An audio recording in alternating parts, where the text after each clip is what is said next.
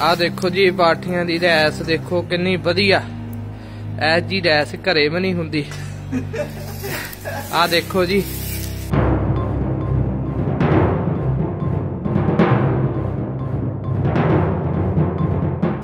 ਇੰਨੇ ਨਜ਼ਾਰੇ ਤੁਹਾਨੂੰ ਕਦੇ ਨਹੀਂ ਮੰਨੇ ਰੇਪੇ ਗੁਰਦੁਆਰੇ ਜੀ। ਹੁਣ ਪਾਠੀਆਂ ਨੂੰ ਕਹਿੰਦੇ ਇਸ਼ਨਾਨ ਕਰਕੇ ਬੈਠੋ, ਤੂੜੀ ਚ ਪਲਾਉਣਾ ਦੇਖੋ। ਇੱਥੇ ਪੈਣਾ ਤੇ ਪਾਠੀ ਕੀ ਕਰਨ ਵਿਚਾਰੇ? ਇਸ਼ਨਾਨ ਤਾਂ ਬਾਕੀ ਕਰਨਾ ਪਊਗਾ, ਇੱਥੇ ਗਾਜ ਪਵਾਉਣੀ ਹੈ ਦੇਖੋ।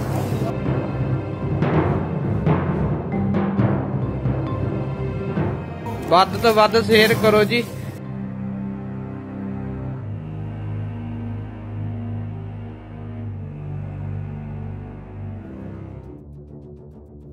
ਜਦੋਂ ਕਿਤੇ ਕਿਸੇ ਵੀ ਸਿੰਗਰ ਦਾ ਅਖਾੜਾ ਲਗਵਾਇਆ ਜਾਂਦਾ ਹੈ, ਤਾਂ ਉਸ ਗਾਇਕ ਦੇ ਲਈ 5 ਸਟਾਰ ਹੋਟਲ ਤੱਕ ਬੁੱਕ ਕੀਤੇ ਜਾਂਦੇ ਨੇ।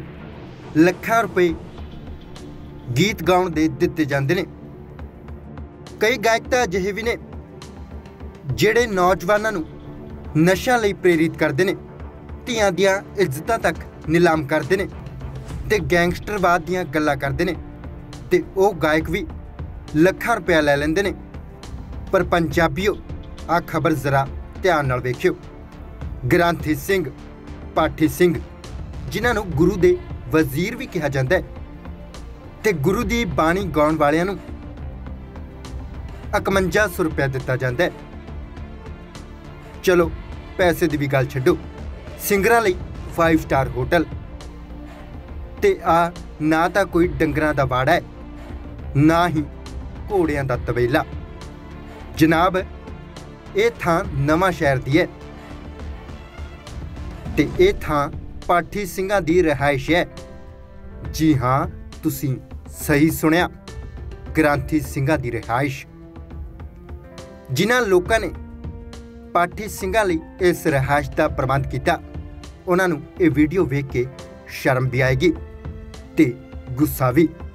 ਬਈ, ਬਦਨਾਮੀ ਜੋ ਕਰਨ ਲੱਗੇ ਆ, ਤੁਹਾਡੇ ਵਰਗੇ ਲੋਕਾਂ ਨੂੰ ਜਿੰਨੀਆਂ ਲਾਣਤਾਂ ਪਾ ਲਈਏ, ਉਨੀਆਂ ਘੱਟ ਨੇ। ਸਾਡਾ ਬੇੜਾ ਇੱਥੋਂ ਤੱਕ ਕਰ ਗਿਆ ਕਿ ਗੰਦ ਗਾਉਣ ਵਾਲਿਆਂ ਨੂੰ ਲੱਖਾਂ ਰੁਪਏ ਦਿੱਤੇ ਜਾਂਦੇ ਨੇ ਏਸੀ ਕਮਰੇ ਮਿਲਦੇ ਨੇ ਤੇ ਜੋ ਗੁਰੂ ਦੀ ਗੱਲ ਕਰਦਾ ਉਸ ਨੂੰ ਹਜ਼ਾਰਾਂ ਰੁਪਏ। ਤੇ ਇਹ ਹਜ਼ਾਰਾਂ ਵੀ ਜਦੋਂ ਵੰਡੇ ਜਾਂਦੇ ਨੇ, ਤਾਂ ਸੌਆਂ ਦੇ ਵਿੱਚ ਚਲੇ ਜਾਂਦੇ ਨੇ। ਅਖੰਡ ਪਾਠ ਦੇ 5100 ਦਿੱਤੇ ਜਾਂਦੇ ਨੇ।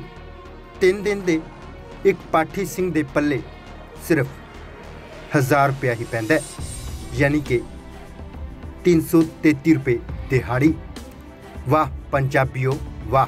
ਜਿਸ ਗੁਰੂ ਤੋਂ ਮੰਗਦੇ ਹੋ ਤੇ ਉਸੇ ਗੁਰੂ ਦੀ ਸੇਵਾ ਕਰਨ ਵਾਲਿਆਂ ਨੂੰ ਆ ਇਨਾਮ ਦਿੰਦੇ ਹੋ ਤੁਸੀਂ। ਸ਼ਾਬਾਸ਼ੀ ਤੁਹਾਡੇ। ਖੈਰ, ਮੈਂ ਤਾਂ ਇੱਥੇ ਹੀ ਬੋਲਣਾ ਬੰਦ ਕਰਦਾ। ਪਰ ਤੁਸੀਂ ਹੁਣ ਇਸ ਵੀਰ ਪਾਸੋਂ ਸੁਣੋ ਜਿਸ ਨੇ ਵੀਡੀਓ ਬਣਾਈ ਹੈ। ਤੇ ਨਾਲ ਹੀ ਸੁਣਾ ਦਿੰਦੇ ਹਾਂ ਕਿ ਪਾਠੀ ਸਿੰਘ ਕੀ ਕਹਿ ਰਹੇ ਨੇ।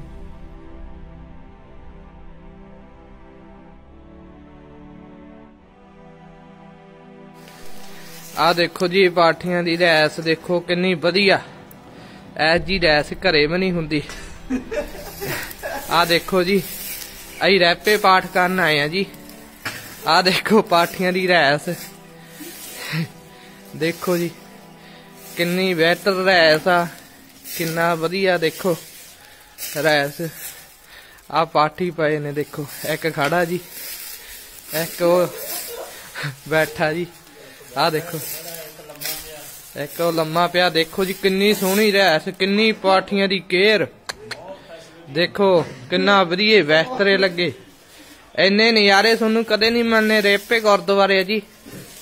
ਆ ਦੇਖੋ ਜੀ, ਕਿੰਨੀਆਂ ਦਰੀਆਂ ਵਧੀਆ ਲੱਗੀਆਂ, ਦੇਖੋ ਜੀ। ਆ ਦੇਖੋ ਸਾਡਾ ਪਾਠੀ ਸਿੰਘ ਜੀ। ਆ ਦੇਖੋ ਜੀ, ਕਿੰਨੀ ਸੋਹਣੀ ਰੈਸ ਦੇਖੋ ਜੀ ਆ ਦੇਖੋ। ਕੀ ਕਰੀਏ ਜੀ, ਦੱਸੋ, ਕੀ ਜ਼ਿੰਦਗੀ ਹੈ ਪਾਠੀਆਂ ਦੀ, ਹੈ? ਐਦੂ ਤਾਂ ਦਿਹਾੜੀ ਕਰ ਲਵੇ ਪਾਠੀ, ਉਹ ਨਹੀਂ ਵਧੀਆ ਜੀ। ਦੇਖੋ, ਆਏ ਹਾਏ, ਉਹ ਤੁਹਾਡਾ ਭਲਾ ਹੋ ਜੇ। ਇਹਦੇ ਚ ਸੱਪ ਆ ਜੇ, ਫੇਰ ਕੀ ਕਰਨ ਪਾਠੀ? ਓਹੋ ਹੋ ਤੁਹਾਡਾ। ਉਹ ਪਾਠੀਆਂ ਨੂੰ ਕਹਿੰਦੇ ਇਸ਼ਨਾਨ ਕਰਕੇ ਬੈਠੋ, ਤੂੜੀ ਚ ਪਵਾ- ਪੜਾਉਣਾ ਦੇਖੋ। ਇੱਥੇ ਪੈਣਾ ਤੇ ਪਾਠੀ ਕੀ ਕਰਨ ਵਿਚਾਰੇ? ਇਸ਼ਨਾਨ ਤਾਂ ਬਾਕੀ ਕਰਨਾ ਪਊਗਾ ਇੱਥੇ ਕਾਜ ਪਵਾਉਣੀ ਹੈ ਦੇਖੋ। ਵੱਧ ਤੋਂ ਵੱਧ ਸ਼ੇਅਰ ਕਰੋ ਜੀ। ਆ ਦੇਖੋ ਜੀ ਪਾਠੀ ਸਿੰਘਾਂ ਦੀ ਰੈਸ ਦੇਖੋ ਜੀ। ਇਹ ਨਵੇਂ ਸ਼ਹਿਰ ਦੇ ਵਿੱਚ ਰੈਪ ਬਾਬੀ ਦੱਸੋ। ਨਵੇਂ ਸ਼ਹਿਰ ਦੇ ਵਿੱਚ ਪਏ ਬਾਬਾ ਜੀ। ਅੱਛਾ ਪਾਠੀਆਂ ਦੇ ਰਹਿਸ਼ ਹੈ ਫਿਰ ਪਾਠੀਆਂ ਨੂੰ ਕਹਿੰਦੇ ਨੇ ਕਿ ਇਸ਼ਨਾਨ ਕਰੋ ਕਿ ਸੁਵਿਧਾ ਦੇਖੋ ਪਾਠੀਆਂ ਨੂੰ ਕਿੰਨੀ ਇਹਨਾਂ ਦਿੱਤੀ ਹੈ। ਹਾਂਜੀ। ਹਾਂ ਹੋਰ ਕਹਿਣਾ ਕੁਝ ਚਾਹੁੰਦੇ ਆ ਬਾਬਾ ਜੀ? ਜੀ ਹੋਰ ਕੀ ਕਹਿਣਾ? ਦੇਖੋ ਮੈਂ ਤਾਂ ਕਹਿੰਦਾ ਵੱਧ ਤੋਂ ਵੱਧ ਸ਼ੇਅਰ ਕਰੋ ਕਿ ਪਾਠੀਆਂ ਦੀ ਕਿੰਨੀ ਸੇਵਾ ਹੋ ਰਹੀ ਹੈ ਸੰਭਾਲ ਹੋ ਰਹੀ ਹੈ। ਅੱਛਾ ਜੀ। ਆ ਦੇਖੋ ਜੀ ਦੇਖੋ। ਹਾਂਜੀ ਬਾਬੇ ਤੁਸੀਂ ਕੁਝ ਕਹਿਣਾ ਚਾਹੁੰਦੇ ਹੋ? ਬਾਬਾ ਜੀ ਬੋਲੋ ਬੋਲੋ ਬੋਲੋ ਤੁਸੀਂ- ਬਾਬਾ ਜੀ ਕੋਈ ਬੋਲੋ। ਪੱਠ ਸਿੰਘਾਂ ਨੂੰ ਗੁਰੂ ਸਾਹਿਬ ਦੇ ਵਜ਼ੀਰ ਕਿਹਾ ਜਾਂਦਾ ਆ। ਤੇ ਦੇਖ ਲਓ ਗੁਰੂ ਸਾਹਿਬ ਦੇ ਵਜ਼ੀਰਾਂ ਦਾ ਕੀ ਹਾਲ ਹੋ ਰਿਹਾ ਇੱਥੇ। ਤੁਸੀਂ ਆਹ ਵੀ ਦੇਖ ਲਓ। ਇੰਨੇ ਉੱਚ ਪਦਵੀ ਦੇ ਮਾਲਕ ਹੈ ਪਾਠੀ ਸਿੰਘ। ਤੇ ਉਹਨਾਂ ਦਾ ਇਹ ਹਾਲ ਹੋ ਰਿਹਾ ਹੈ ਲੜੀਆਂ ਦੇ ਵਿੱਚ। ਹੈਲੋ। ਤੇ ਬਾਕੀ ਦੀ ਆਹ ਵੀ ਵੇਖ ਲਓ ਜੀ ਕਿੰਨੇ ਸਤਿਕਾਰ ਨਾਲ ਆਪਾਂ ਪਾਠ ਕਰਾਉਂਦੇ ਆ ਕੌਣ ਬੋਲਦਾ? ਤੇ ਕਹਿੰਦੇ ਆ ਵੀ ਸਤਿਕਾਰ ਪੂਰਾ ਚਾਹੀਦਾ ਹੈ ਪਾਠਾਂ ਵਿੱਚ। ਹਾਂਜੀ। ਮਰਿਆਦਾ ਪੂਰੀ ਚਾਹੀਦੀ ਹੈ। ਤੇ ਆਪ ਦੇਖ ਲਓ ਜੀ ਬੋਲਦਾ। ਕਿੰਨਾ ਸਤਿਕਾਰ ਤੇ ਕਿੰਨੀ ਮਰਿਆਦਾ ਪਾਠੀਆਂ ਨਾਲ ਵਰਤੀ ਜਾਂਦੀ ਹੈ। ਮੈਂ ਠੇਕੇਦਾਰ ਬੋਲਦਾ। ਵਾਹਿਗੁਰੂ ਜੀ ਕਾ ਖਾਲਸਾ ਵਾਹਿਗੁਰੂ ਜੀ ਕੀ ਫਤਿਹ।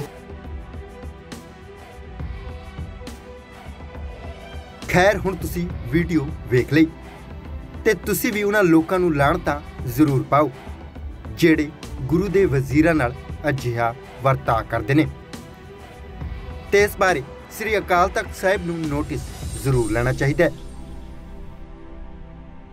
ਖੈਰ, ਵੀਡੀਓ ਤੁਸੀਂ ਵੇਖ ਲਈ ਹੈ ਤੇ ਵਿਚਾਰ ਵੀ ਤੁਹਾਡੇ ਨੇ। ਜਗਦੀਪ ਸਿੰਘ ਥਲੀ, ਪੰਜਾਬੀ ਲੋਕ ਚੈਨਲ।